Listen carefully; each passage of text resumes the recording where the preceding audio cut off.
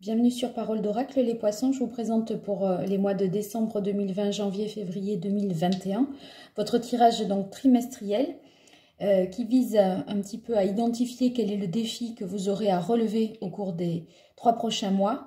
Donc euh, un petit peu l'enjeu. Avec cet enjeu, on identifie quels sont les atouts, vos atouts, vos forces, vos, vos avantages dans cette situation et puis ensuite euh, bah, les difficultés que vous pourriez rencontrer de ce côté, euh, les écueils à éviter ou les obstacles. Et ensuite l'issue du tirage. Donc pour commencer, à la coupe, dans le, tarot de, des anges de Dorine Virtue, j'ai eu l'éveil, c'est-à-dire le pendu et le 2 de terre. Alors, Comment comprendre euh, cet enjeu? En fait, avec le 2 de terre, on, dirait que vous essayez de jongler entre deux situations, que vous essayez de concilier deux choses qui vont pas forcément euh, euh, vraiment bien ensemble. Vous essayez d'être un petit peu sur deux fronts différents. Donc, il y a des choses qui arrivent simultanément ou que vous devez conjuguer, en fait, et du coup, euh, c'est assez inconfortable pour vous, cette situation, euh, parce que vous ne pouvez pas vous atteler pleinement à une seule et même tâche. Alors ici, on a la carte, vous voyez, de, de l'éveil, c'est-à-dire la carte du pendu. Alors le pendu, ça dit souvent qu'il faut voir les choses sous un autre angle. Peut-être est-ce nécessaire pour vous pour pouvoir justement euh, faire un choix entre deux choses que vous essayez de mener de front ou de maintenir ensemble. Alors, du coup, voyant les choses peut-être sous un autre angle, vous arriveriez éventuellement à choisir. Ou alors vous êtes bloqué et vous êtes obligé de de concilier deux éléments différents. Alors c'est vrai que c'est, on est dans le domaine général, donc je peux pas dire si c'est euh, professionnel, si c'est euh, matériel, euh, voilà, ou familial, etc. mais j'ai l'impression que vous essayez peut-être de contenter deux personnes, de concilier deux situations ou peut-être deux emplois. Toujours est-il que le pendu, c'est aussi cet arcane-là, à ce stade-là, on en est à être capable de se poser pour euh, voir ce qui est essentiel et ce qui est accessoire. Peut-être accordez-vous une importance identique aux deux choses que vous menez de front. Néanmoins, il semblerait que vous ayez à choisir entre les deux parce qu'il y a une des deux choses qui est vraiment important, qu'il est vraiment important de maintenir, et l'autre qui peut, qui peut être abandonnée. Donc, si vous voulez, le, pendu, lui, il est capable de voir euh, au final ce qui est superflu. Et en voyant ce qui est superflu, je pense qu'on arrivera à faire le choix et peut-être abandonner quelque chose. Alors, le contexte de la situation, j'ai tiré cette carte-ci, euh, l'homme dans l'oracle indigo. Alors, avec l'homme, euh, bon, bien sûr, on est sur un tirage général, mais ça peut être du coup votre partenaire, votre mari, votre compagnon. Ça peut être votre associé. Ça peut être un frère, euh, voilà, un ami. Il est vrai que là, bien sûr, c'est une figure masculine, mais je dirais en tout cas que le contexte de la situation, puisqu'on est dans un tirage général, c'est par rapport à quelqu'un. Il y a une relation, en fait, ou un rapport humain qui vous oblige par rapport à une personne à concilier deux choses. Et peut-être devriez-vous abandonner une chose puisque finalement si on se dépouille du superflu, si on revient à l'essentiel et si on se recentre sur soi-même, nous dit le pendu, on n'est pas obligé de concilier deux choses. Il y a peut-être une chose qui s'impose à nous. On va voir euh, quoi, comment, au juste. Alors, quels sont vos atouts dans cette situation? Donc, on a la roue de fortune, la reine de bâton et le roi de coupe. Alors, vous voyez, si vous êtes obligé de concilier quelque chose parce que vous êtes bloqué, comme j'ai pu le dire tout à l'heure, ici, avec la carte de la roue de fortune, il y a un changement qui va faire que ça va débloquer quand même une situation. Les choses vont avancer. Peut-être êtes-vous bloqué euh, de toute façon par rapport au contexte euh, sanitaire, d'accord? Mais il y a quelque chose qui va, qui était peut-être pas possible de faire ou d'envisager, qui va se modifier et qui va permettre que les choses bougent et avancent. Parce que le pendu, vous voyez, il essaye de se stabiliser, euh, il essaye de trouver un équilibre. D'accord? Euh, La roue fait bouger cet équilibre, fait changer les choses. Donc, les choses vont bouger et certainement peut-être vont vous permettre de vous débloquer. Ici, avec la reine de bâton, c'est un personnage donc dont les finalement les caractéristiques, les qualités sont qu'elle va euh, être en mesure de euh, d'inspirer, si vous voulez, la confiance. Euh, elle est finalement assurée. C'est une personne qui peut user aussi de, de son aura, de son charisme pour convaincre les autres.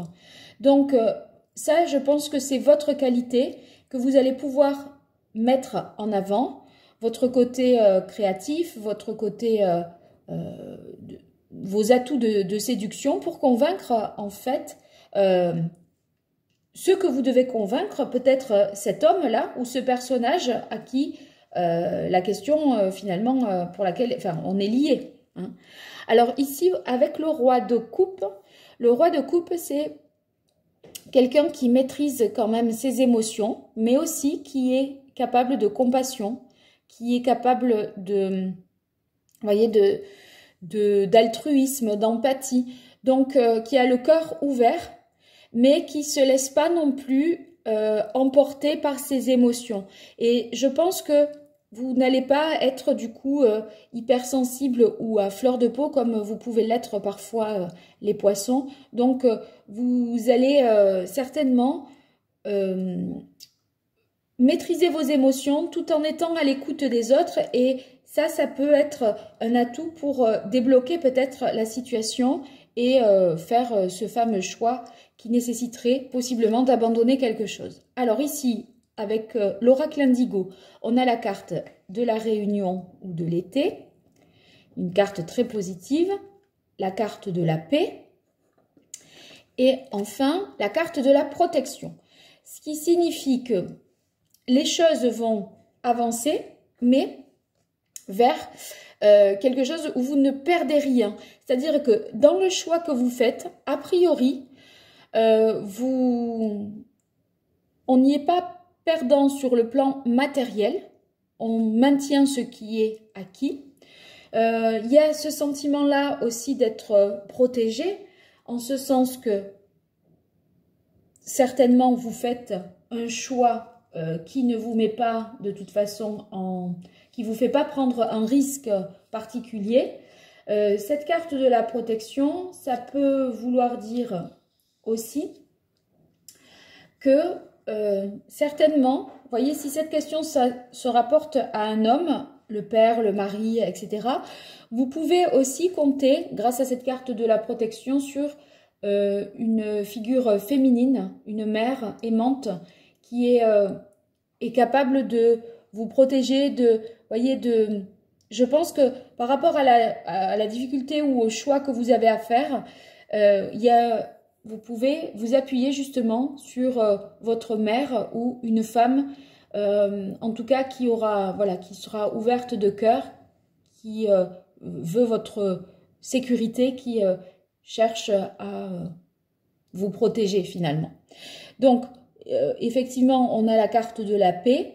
Donc, euh, on voit sur cette carte ici euh, qu'il y a des réconciliations éventuellement si s'il y avait eu des discordes par rapport à, au fait de quand on a concilié beaucoup de choses, on peut être euh, parfois euh, sous tension, etc. Là, euh, bon, ben, en tout cas, on est sur la voie de la réconciliation. Si vous étiez peut-être disputé avec cette personne, cet homme ou cette femme, à vous de transposer. Et vous voyez, la réunion l'été, c'est justement vous vous retrouvez peut-être alors que vous avez été éloigné et à distance d'une personne, vous arrivez à vous retrouver parce que peut-être il y a quelque chose qu'il est possible de faire et qui était interdit jusque-là. Moi, j'ai l'impression que vous allez pouvoir retrouver des personnes avec la roue de fortune qui jusque-là n'était pas, euh, il n'était pas possible de rencontrer, possiblement de la famille. D'accord? Peut-être, euh, voyez, vous étiez euh, plus avec le confinement, peut-être bloqué euh, avec votre conjoint, un père, un frère, etc. Et on dirait que à un moment il y a un changement qui est possible et vous avez la possibilité de vous retrouver avec euh, de la famille euh, pour célébrer peut-être un événement. Et en tout cas, ça, ça favorise tout ça, le, le, choix que vous avez à faire. Alors, quelles sont les difficultés? On a le 7 de terre, le 10 d'eau et le magicien. Ouais, le magicien, ça veut dire que vous manquez de moyens pour enclencher un nouveau départ. Et vous voyez, euh, je pense que vous êtes obligé de concilier deux situations, deux, deux, euh, oui, deux situations, deux emplois, deux, choses en tout cas, qui sont euh, peut-être qu'il est difficile pour vous. Vous vous pliez un petit peu en quatre. Et là, en fait, c'est la difficulté à faire un choix et à prendre un nouveau départ. Donc, vous ne vous sentez certainement pas prêt vous manquez peut-être de ressources pour agir. C'est pour ça que cette carte-là est en contre. Alors, avec la carte du 10 de coupe qui se positionne dans les aspects négatifs, on voit que euh, peut-être familialement, il y a des tensions. Parce que justement, la carte de 10 d'eau, c'est la carte de la famille heureuse où tout le monde a ce qu'il faut et dans des bonnes conditions matérielles, affectives. Enfin, vous voyez, quand on est en confiance et quand on est comblé. Là, en fait, j'ai l'impression que Peut-être, au niveau de l'entourage familial, c'est une figure, là, possiblement masculine, qui peut poser problème, éventuellement le père, et il pourrait y avoir euh, peut-être, euh, voilà, un, mal-être vis-à-vis de cette euh, personne, puisque la carte du 10 d'eau nous dit qu'on n'a pas, en contre, on n'a pas tout ce dont on a besoin pour être heureux. Alors ici, la carte du 7 de denier nous dit que bah, vous manquez peut-être un peu de patience parce que le, le 7 de, terre, c'est que euh, finalement, une fois que la graine est semée, ben, il faut attendre que euh, euh, les saisons passent, que le voilà, il faut entretenir les choses pour que la, la, plante pousse ou l'arbre pousse. Et vous voyez, à un moment, vous êtes bloqué, il faut attendre. Vous, vous, le, vous êtes là euh, représenté dans la situation du, pendu. Il est bien bloqué, il cherche à se stabiliser, il cherche à voir ce qui est important, pas important. Enfin, en tout cas, c'est ce que vous, vous devriez faire pour faire ce choix entre deux possibilités, deux options qui s'offrent à vous vis-à-vis d'une personne, un père, un frère, un conjoint. Donc, il y a peut-être une patience là qu'on vous demande d'avoir et qui vous fait défaut. Vous voudriez que les choses avancent. Alors, c'est vrai qu'il y a des choses qui vont avancer parce qu'il y a la roue de la fortune. La roue de fortune, pardon. Alors, en contre, vous avez la carte de la fécondité, de la cathédrale intérieure et enfin de la renaissance. Moi, j'ai l'impression que vous n'avez pas envie que les choses changent et qu'elles bougent. C'est peut-être vous, ça. Vous, voudriez vous maintenir entre deux, peut-être, situations. Vous avez du mal à faire un choix. Et en fait, vous avez envie de maintenir l'existant peut-être en tant que tel. Et vous préférez euh, vous voyez, euh, jongler plutôt que d'abandonner peut-être quelque chose. C'est pour ça qu'on a la renaissance en contre. On n'est pas prêt pour un nouveau départ en fait. Et c'est vrai qu'ici, avec la carte pardon, de la fécondité, la fécondité, c'est la naissance de quelque chose de nouveau. Ici, vous voyez que c'est un enfant qui est représenté dans un berceau. Ben, on n'a pas envie qu'une nouvelle vie, qu'une nouvelle euh, que quelque chose de nouveau apparaisse. Moi, si vous l'avez en contre, j'ai l'impression que c'est parce que vous résistez là au changement. Voyez ces deux cartes ici associées, la renaissance et la fécondité, vous les avez en contre. Vous n'avez pas envie que ça change en fait. Alors, la carte de la cathédrale intérieure, euh, c'est euh, un travail d'introspection, un travail sur soi. Je pense que vous n'avez pas envie de le faire. Parce que ça vous obligerait peut-être à, vous remettre en question euh, vous-même, à vous remettre en cause à vous. Vous n'avez pas envie de prendre votre part peut-être de responsabilité là-dedans. Donc, finalement, là, si on regarde par rapport à, tout ça, j'ai l'impression que vous préférez, quelque part, vous préféreriez euh, maintenir l'existant et faire avec, mener les choses de front, euh, faire en sorte que ça soit stabilisé comme ça. Voyez, avec le 12, le pendu, il essaye de trouver un équilibre, de trouver une certaine stabilité, même euh, pendu par, euh, par les pieds. vous n'avez pas envie que quelque chose bouge ou change par rapport à une situation peut-être familiale, parce qu'on a ici la carte du 10 d'eau, la carte de la protection qui représenterait la mère et la carte de l'homme qui peut représenter le père. J'ai l'impression que vous n'avez pas envie qu'une situation change et que vous préférez continuer à fonctionner comme ça fonctionne déjà, quitte à ce que ce soit pas super confortable, mais en tout cas, voilà, vous n'avez pas envie de passer à autre chose. Alors, on va voir ce qu'il en résulte. Alors, on a, oui, là, il y a deux cartes qui étaient tombées. La carte de la guidance, la carte des enfants et la carte de l'as d'air, autrement dit, l'as d'épée. Alors, je pense que au final, vous allez, vous allez trouver une idée qui va vous sortir peut-être de, de l'impasse ou du blocage et qui va, voyez, accompagner de la roue de la fortune. Là, on dirait que, hop, c'est comme une illumination. Vous prenez conscience de quelque chose et peut-être une solution est trouvée. Une solution est trouvée par rapport au fonctionnement qui concernerait les enfants. Alors, je pense que ça a vraiment une dimension familiale ici, parce qu'entre le père, la mère, les enfants, la famille, euh, voilà. Et ici, la carte de la guidance, ça va vouloir ça veut nous dire que il faut peut-être ici se laisser guider, se laisser mener et que on n'a peut-être pas le contrôle véritablement de la situation. De toute façon, le pendu au départ, il n'a pas tellement le contrôle de la situation.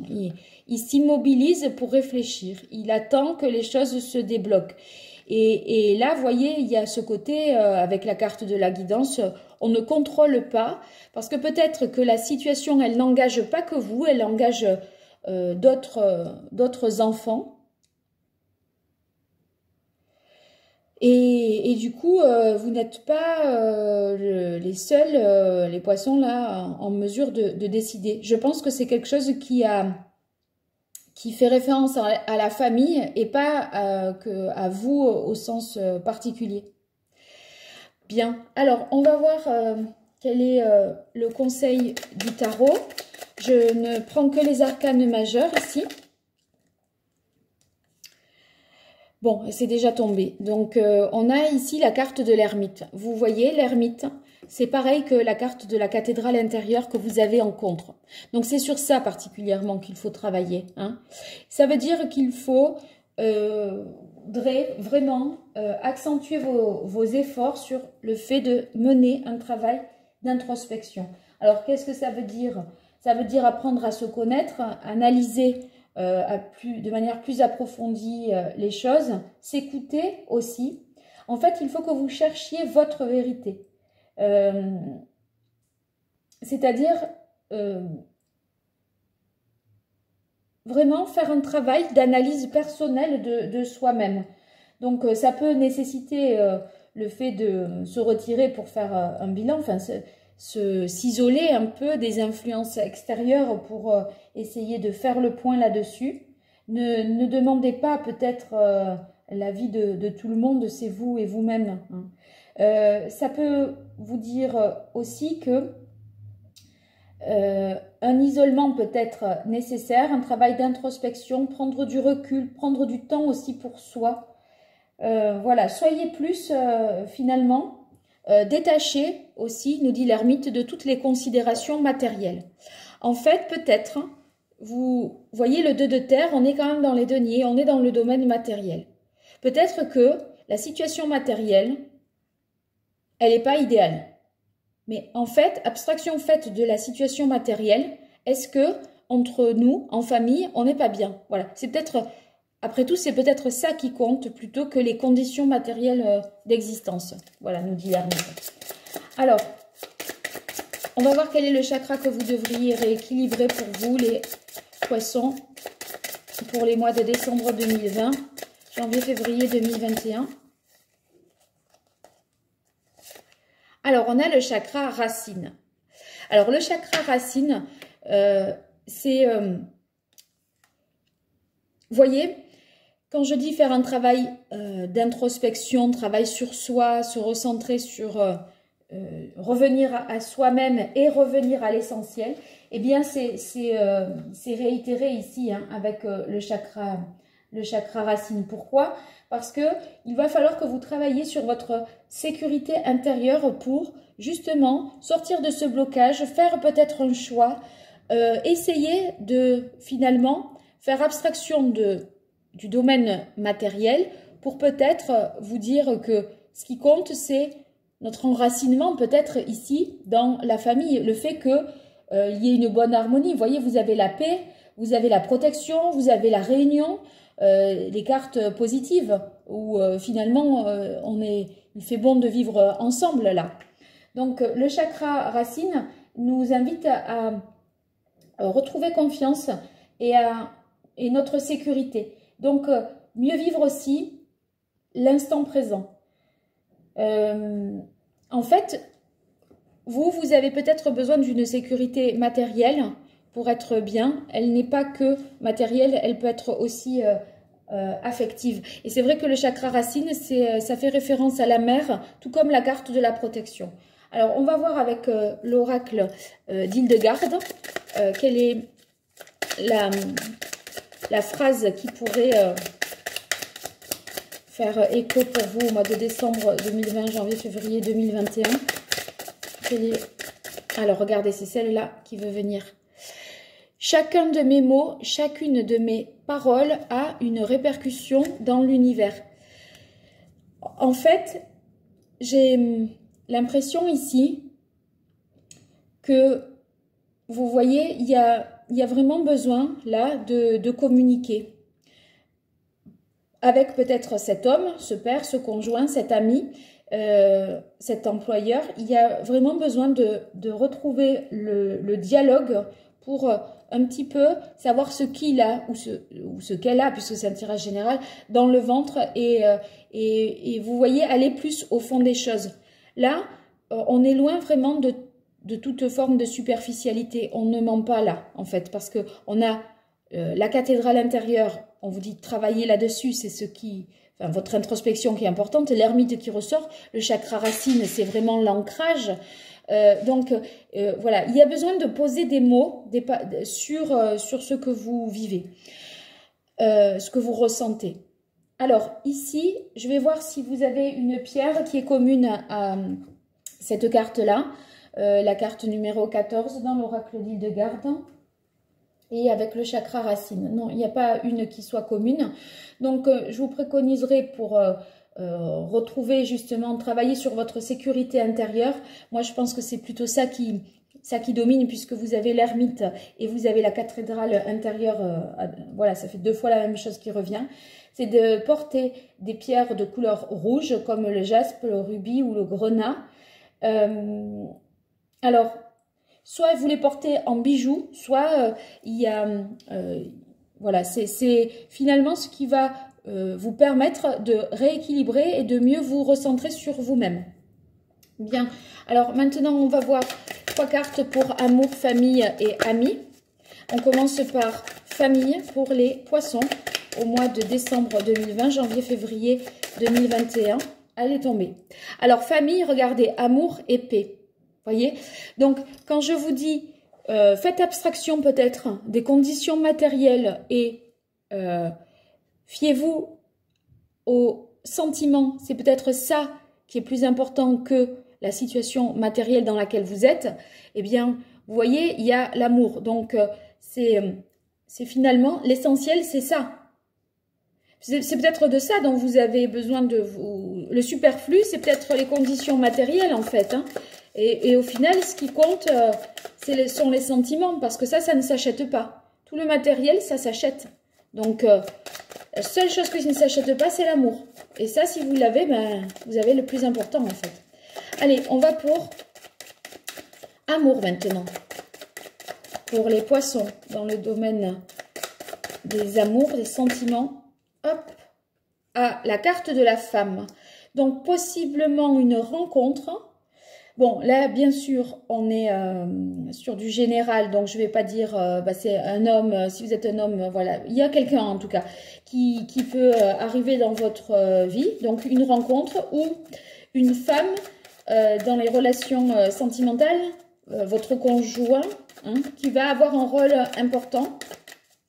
Et maintenant, amis pour les poissons. Ah, l'ami, les amis, transformation, libération. Donc, il va y avoir, euh, je pense, du, changement, ou en tout cas, vous voyez là, euh, la carte du pendu, bon, sur cette, euh, dans ce tarot, c'est une représentation qui est différente, mais moi, ce que je vois, c'est que le pendu, dans un tarot classique de, Marseille, il est, il est relié et attaché par, par les pieds. Il est bloqué. Il doit se libérer, en fait. Et peut-être vos amis vont peut-être vous aider à relativiser une situation et vont euh, vous permettre de vous libérer des choses qui vous bloquent et de passer peut-être plus facilement à autre chose, peut-être aussi d'ailleurs faire ce fameux choix. Peut-être c'est cet homme-là qui est votre ami qui va vous aider, qui aura un rôle central pour vous aider à, faire un choix et euh, euh, puisqu'on a la carte ici du, du 2 de terre où il était question de jongler entre deux situations, de concilier deux choses, ben, peut-être que c'est cette personne-là justement qui va vous aider à, choisir euh, et à, avancer. Voilà, donc euh,